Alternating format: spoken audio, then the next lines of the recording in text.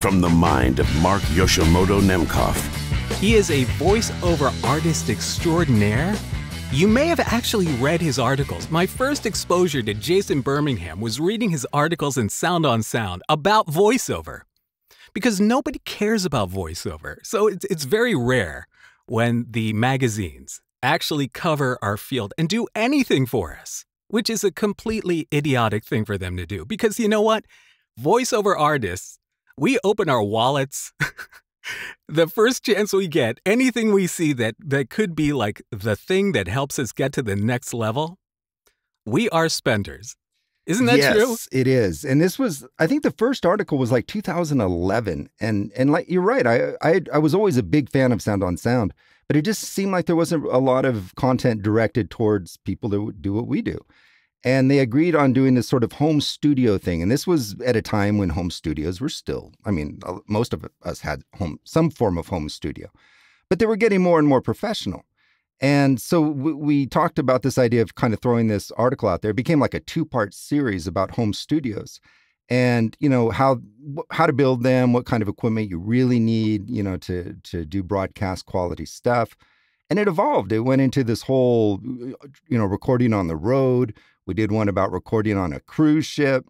And there's a new one coming out soon that you are going to be part of about uh, recording in like even like in virtual reality all these new technologies that are coming out. There's this there's you know voiceover voice telling stories you know the, the it's the oldest form of human connection and so these technologies evolve all this new stuff's coming out these new mics these new you know vr glasses and everything else but the storytelling part of it, the connection part of it is still always the same. And so that's, you know, that's kind of ties into all of the articles that I wrote for them and and hopefully a little bit into this conversation we're going to have tonight. I'm I'm wondering though because having seen the documentary movie 2001 A Space Odyssey, I do remember the um the monkey man um, using actually a a bone as the first method of communication between one monkey to an, another pre-human monkey. So you yes. know, I I think that yes. that maybe maybe voiceover may have come second, storytelling may have come second too. If you look closely, I think it's a Sennheiser 416 he's. That's really the only thing I'd use a 416 for is to defend myself, I think. So it, so this okay, I want to just I want to uh, this is going to be a little all over the place because my energy is a little off today. It's a little weird today, but so I want to talk real quick about this. The one thing that I loved about your article was was you were talking about recording on the road, right? And I think that really that that also applies to people who are recording in spaces that aren't really well well treated. Right. And you talk about building this, this is great. You talk about building a, a cushion fort out of like all the available soft pillows and and and seat cushions, and anything available. And I remember doing this on a trip once and feeling like I was six years old, building like a couch fort. and being inside this little thing with all the couch cushions around my head, like trying to do this audition on the road. And uh, I was thinking, like, you know, this actually works. This this is not a crazy idea. Yeah. Well, before I tell you, before we talk about that, I'm curious. What do you use when you when you're on the road? What mic do you take? What okay, you, so this the last few years, I refuse to take a vacation rig because my mm. vacation now is it's sacrosanct. You cannot you cannot bother me. I I work so hard. I I rarely take a vacation. I take like one week off a year, and then maybe a couple of days here and there around the holidays when there when there isn't any work. So that one week, I'm going paddle surfing I am not doing an audition from my room. If I if I lose that job, and I have lost work on vacation. I've gotten emails on vacation, "Are you available? We have work for you." And I'm like, "No." I'm, I'm on Maui. I'm not doing an audition from my room again. So, I mean, eh, you know, my situation is I put my foot down.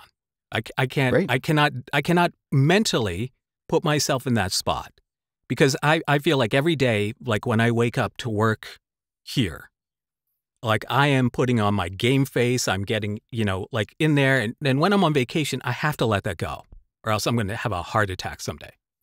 Yeah. But anyway, so I'm, I am, I am an outlier. when it comes to vacation rigs. But your vacation rig, I've seen like the pictures that you posted. I mean, you take you take a U87 on on the road with you. You mm-hmm. take a you take a USB mic on the road with you. And so what what is your current vacation rig? Well, you know, it started out when I was writing the articles. It was it was kind of like a test. I wanted to kind of take the good stuff and then see and then take the, you know, the basic stuff and kind of compare them on the road.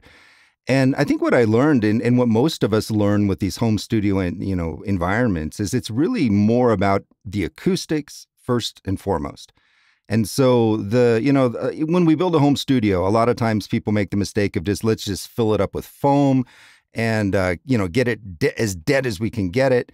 And when when I was traveling, I used to do that that same approach. You know, the the pillow forts and just you know the put blankets over blankets and just like kill this you know kill any reverberation that may happen in that space.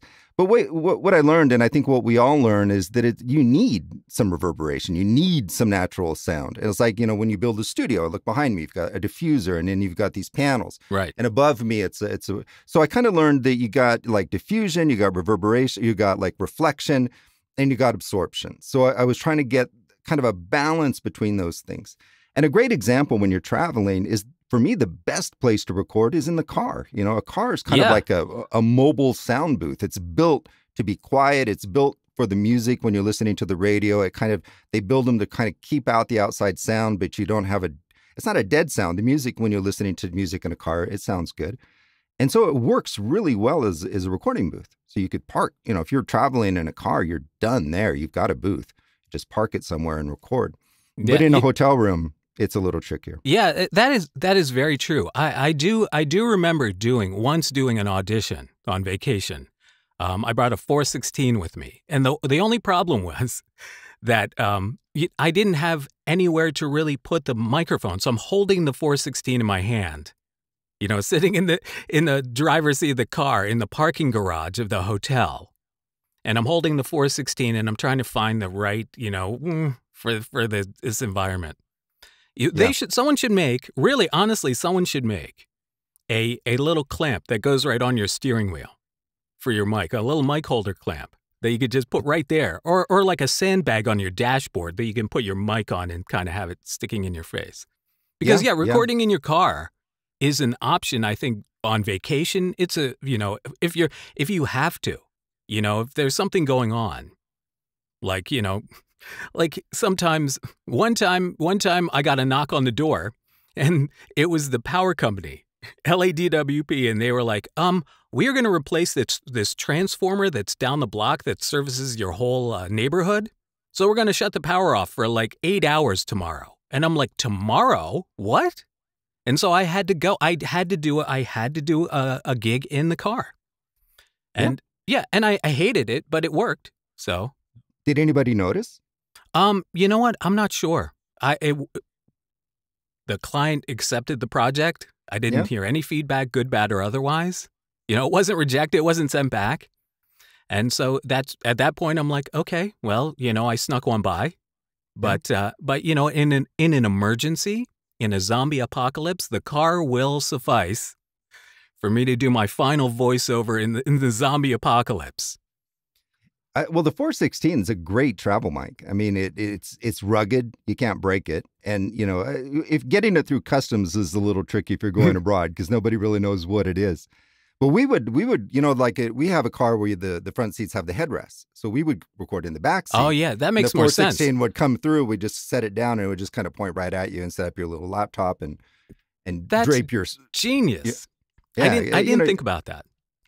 Well, so. it, it you just kind of go with what you got, basically. Yeah. but but yeah so the you know then you know nowadays I, you got little mics that clip onto your onto your iphone that are good enough but I, i'm i'm really a fan of those apogee mics the the hype mic the new one they have which is like a it has a compressor and so it, it really it delivers exactly what you need so i think the articles at that time um, they're kind of outdated because nowadays it's so easy to record good quality sound pretty much anywhere if you're if you're careful about you know your acoustic space your acoustic space and and uh, and you have a decent microphone You know that that is a topic that has come up recently. Um, even though as of as of this this uh, tete-a-tete we are having right now.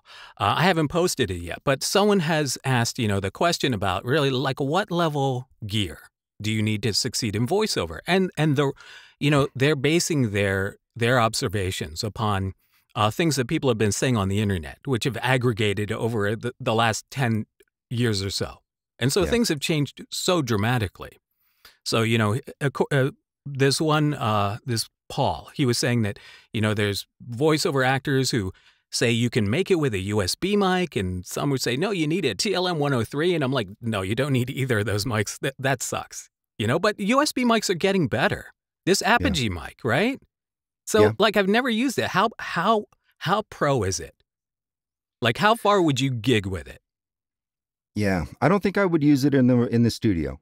Um, but that I mean, those that's a big, big, big question. I've, I've, it's a huge really, question. Yeah, I've thought a lot about voiceover and gear. And are you a gamer? Did you do you play video games? You know, I I suck at them. I, I play Oh. Call of Duty Mobile, and that's like the only thing I do. But honestly, I only play Call of Duty Mobile on the toilet. So that's a Oh, that's a little TMI, but I understand that, you know, well, the because reason I stopped a- reading Sound on Sound and Mix magazine. I'm going to get you signed back up. Mix magazine has disappointed me so much. I've given up reading on the toilet in favor of Oh, playing Call of. Duty. No, we're sending you a subscription ASAP. The reason I ask is that I, I've always been a, a big gamer, and I just like, like I just finished Elden Ring, for example. And one of the things that I love about video games, and this, especially like this Elden Ring type video game, is that when you start the game, you you create a character, and then you you're given like certain amount of points, like 20 points, and you have to distribute those points to certain aspects of your character. If he's strong, if he's smart, if he's agile, if he's, you know, and then based on that, you kind of determine if you're going to be a warrior or a magician. So, but you always have that those 20 points you start with. And when I approach voiceover, I think a lot about that. I'm thinking, okay, if I have 20 points and I'm going to distribute those points to different areas. For example, if I could have, if I could, you have one category that's just pure talent. Mm, You're right. just like this great actor, and you've just got this really natural read. No, I'm not talking about a great voice. I'm just talking about really good communication skills, and you really can connect with an audience. And when you're talking, you're reading that copy, it doesn't sound like you're reading. You're just a really, really good talent. I think if you put like 18 points in that talent, and then like you had a, a an Apogee mic in your studio, you'd probably be booking jobs that I won't be booking with my high end gear because that's where it starts. I mean, that's where they're really looking for. And so it kind of you got to kind of gauge it from there because I think the the risk, the the trick is that if you think, okay, I, I want to be a voiceover talent, so I'm going to buy all this high end gear, and then think that that is going to get you in the door for auditions and and and and all in jobs. It could work the other way, you know, because a lot of times when you have this really high end gear, you get so enamored with your voice, and you and, and and you just get you develop these habits that later are really really hard to break.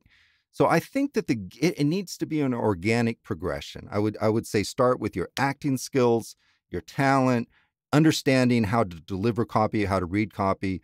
After that, work on your acoustics, your space where you're going to be recording, and after that, go start building up your, you know, you got to have entry level gear. But then when you start booking the jobs and you see it's progressing, then start investing more and more in in gear. That's my thought at least. You know, I'm going to clip that whole thing out and drop it as a YouTube short. I mean, that is that is some that is some real wisdom. So, I mean, you know, you've been doing voiceover professionally for a couple of decades or more, right?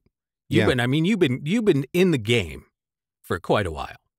And so you have seen how it has changed. Really, and Yeah. and I think it has changed more over the last 5 years than it has in the previous 40 in terms of the accessibility and the the how how easy it is now to get a good sound compared to how it used to be. You know, Yeah. there's there's good equipment available for everyone. There's um, the accessibility to find voiceover work through the internet through different avenues, good, bad, or otherwise. And you can you can audition now from anywhere. You know, and and after COVID, really remote remote recording is now uh, really, I think, the primary way that voiceovers are being rendered, unless you Right. are working on a show.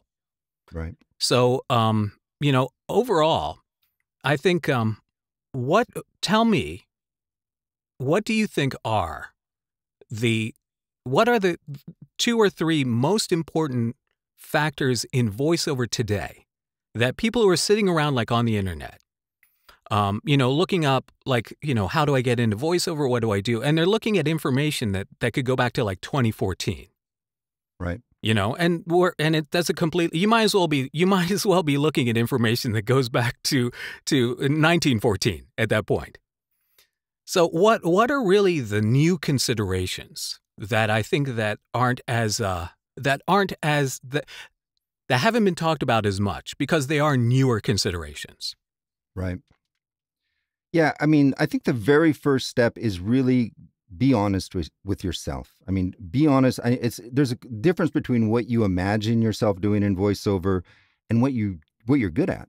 A lot of times people don't realize what they're really good at, you know, cuz I for example, when I started, I I started in Brazil and one of the first things I did a lot of is in Brazil we have these advertising festivals. And when you do like for Cannes Internet, the Cannes Lion International Advertising Festival. So what that is is these agencies all around the world compete to see if they can win a prize for having the best TV commercial. And for that, they have to send in like a two minute video and explain what that commercial did and how many people watched it and how much money they made. And it's called a video case for these ad festivals. And they do hundreds of these a year and they have to be in English. And so I started doing those because there was a demand for that. And and my wife is a voiceover talent and she Simone and she brought me into this whole world. And in Brazil they didn't have a lot of people doing that in English. And so my talent, what I was good at at that time was the fact that I could communicate in Portuguese because I live in Brazil. I could record in English, but my background was more of a school teacher, a journalist. I was a good communicator. And so there's a lot of there's a lot of uh, conversation about are you a good actor? I don't consider myself a really good actor, but I think I'm a good communicator. So that's what I knew I needed to do. So I, I would bring in my natural communication skills into that.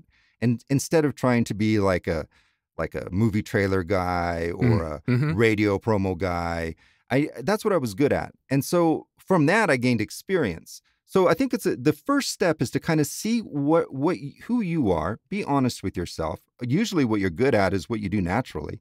And then just kind of figure out where you know the where the work is, you know, where that where there's a demand for that.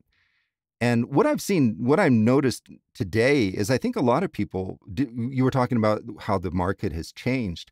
Today everybody's a content creator, right? Yeah. It's yeah. like in the in the old days we would like tune, tune in the TV and it was kind of like pre-selected. The good stuff was on, you know, you had like four or five channels and then you had pay TV and it started to grow. But now you like you're competing on YouTube with millions of people. And so what that that's twofold. What it means is that everyone's competing against you in a sense, but also that is the reference that the clients want. So I'm getting a lot of I'm getting a lot of jobs now where people are saying, "Oh, you got to sound like you know, yeah. like you're hmm. a YouTube guy or, a, yeah. Or you're yeah. on TikTok. Yeah. And so yeah. And that kind of goes back to the that kind of goes back to the equipment thing. You know, if I've had I've actually had several jobs where they've asked me to record outside of the booth on a lesser mic because they they weren't getting the sound close to where the other people were sending it and what they wanted. And so, you know, because they're so used to hearing people record on podcast mics. So, you know, there's times are changing really fast and you've just got to kind of jump on that wave and, and see where it takes you. Yeah, as a matter of fact, I I just got a, a text that um, times have changed once again, and now all auditions have to be performed on an iPhone. Really? So yeah, from now on, all auditions for any project need to be performed on an iPhone for anything anywhere globally. And this is from the World Voiceover Council of America and beyond. So that there is a there is a governing body of um, complete fictional people sending out this um, fictional text that I made up. So you might have a good idea, though. no, I'm serious. Because if everyone if everyone has to record the audition on their phone, the only thing that's going to separate us is our performance. Right? Is your is your technique and your talent. Your delivery. Yeah. Well, see, the thing is, I, I'm I'm of the I'm of the complete opposite, and I feel that um, the thing that distinguishes a professional is the the the understanding that especially in voiceover so um you know when it comes down to it like you said it really comes down to two factors your technique and your sound. And technique outweighs sound by a, a great deal 75% to 25%, I think, overall. Right. You know, because I know that I know that like casting directors who get like 65, 100 auditions for something, when when they're going through to listen to these things, it's like click, you hit play, and you have about two seconds before they will just knock you out and go to the next one. Right. And that that is a function of your sound. You know, it's like unless you can grab somebody with your technique right away, you have to have you, your technique has to be absolutely incredible to outweigh someone who has good technique and great sound. You know, it's like that 25% that sound influences, I think, the decision is often the deal breaker for a lot of people who do, don't have great sound. And so I think a professional knows that if its technique and sound are the two main variables that, that may prevent you, the two obstacles that may prevent you from, from obtaining the gig, that professionals will, will eliminate that one variable, the one variable that can be eliminated, right? And so it's like you your technique may vary from day to day depending on how you feel and how you feel about the project or you know your mental state anything. There are so many things that can that can change your technique from day to day. But if your sound is rock solid foundational professional quality great, then that's never an issue. Right. Until, you know, I got this fictional text and now I got to throw all my gear away. So I, I, you know, I'm I'm really well, I don't think you have to go that far yet. But you, you know, you're right. I think one of the we were talking about the the point system of distributing, you know, your your points.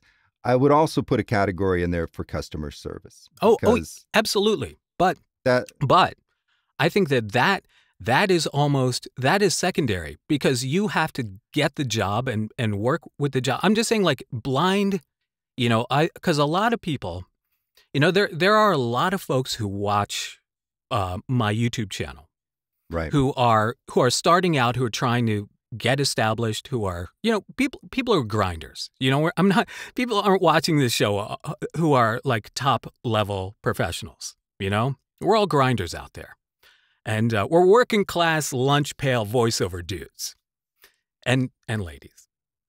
And I think that that overall, like like you said, once you start to establish a relationship, once you get the job, customer service is paramount. You right. know that that will distinguish you from the person who doesn't know how to handle uh, communicating with a client. Yeah. So that that's something actually we should talk about in the next video because we are going to take a break.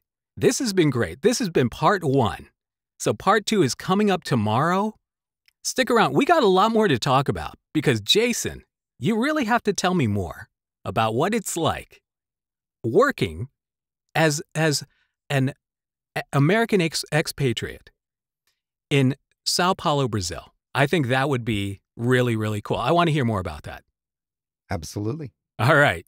So, uh check back in tomorrow. More with Jason Bermingham. Until then, this is Mark Yoshimoto Nemcoff and Jason Bermingham, fading to black.